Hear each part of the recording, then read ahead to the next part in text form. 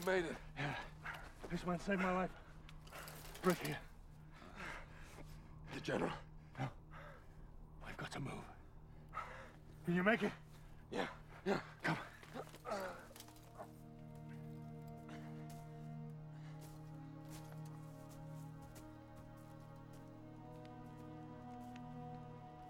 Let's keep moving.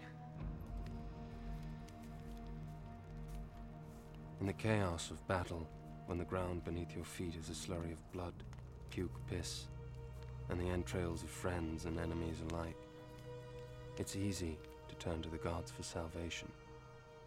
But it's soldiers who do the fighting, and soldiers who do the dying, and the gods never get their feet wet.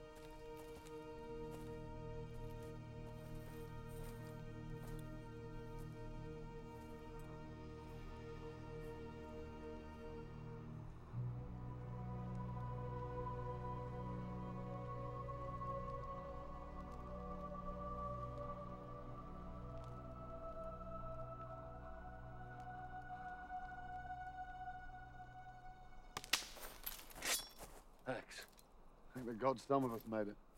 Only you?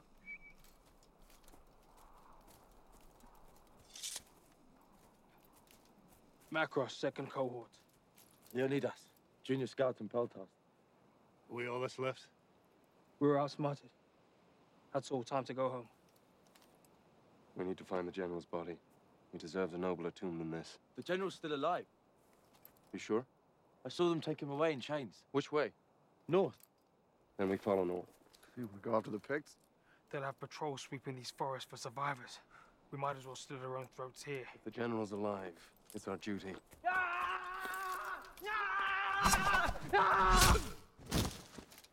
Where did you come from? From the kitchens. Good work, soldier. My name's Tarak. I'm not a soldier. I'm a cook. Not anymore. Scavenge what you can. Food, supplies, weapons. Ditch your armor. We travel light.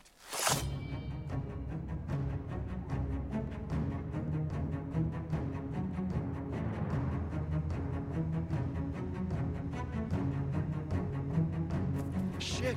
That Macros can move! Used to be a marathon runner before he joined up. How do you know that? We made the food. We know everything.